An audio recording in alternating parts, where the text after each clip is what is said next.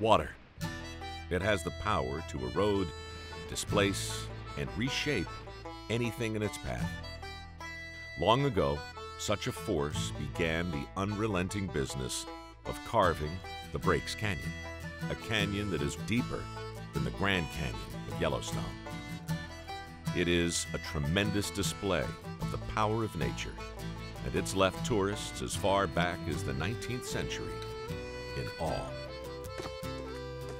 In the years to come, scores of trees would be chopped down. Massive, house sized boulders in the river would be dynamited, while moonshiners would take refuge in the seclusion of its cliffs. Competing railroads would vie for the right to lay track through the canyon and open the mineral rich Appalachians to the rest of the country. Yet, commercial interests were not the only ones to set their sights on the breaks. As seen in the other sections of the country, an impassioned, citizen led movement would emerge in hopes of having this dynamic wilderness preserved for future generations.